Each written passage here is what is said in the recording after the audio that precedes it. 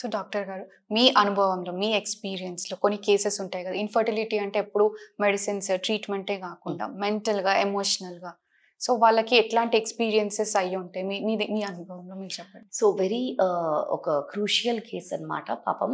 That girl she's just twenty five twenty six years but తనకి ఏంటంటే గర్భసంచి పుట్టుకతోనే చాలా చిన్న గర్భసంచి. ఓకే. ఓకే? నార్మల్గా ఒక గర్భసంచి వచ్చేసి ఫోర్ సెంటీమీటర్స్ ఉండాలి. బట్ ట్వంటీ ఫైవ్ ఇయర్స్ వాళ్ళలో టూ సెంటీమీటర్స్ ఉంది అంటే that is half of the size. అంటే. అది మచ్యూర్ అవ్వలేదు. ఒక థర్టీన్ ఫోర్టీన్ ఇయర్స్ పిల్లల్లో ఉండాల్సింది. తనకు అక్కడే స్టక్ అయిపోయింది అనమాట okay. So it is because of some brain development hormones లేవు తనకి. సో అక్కడ డాక్టర్స్ అందరూ తను ఒక వేరే సమ్వేర్ ఫ్రమ్ నల్గొండ సమ్వేషికే సో అక్కడ డాక్టర్స్ అందరూ తనకు చెప్పేశారు నీకైతే అవ్వదు. నువ్వు. సరగేటే చెయ్యాలి. Hmm. And then when I saw her of course చాలా చిన్న గర్భసంచి.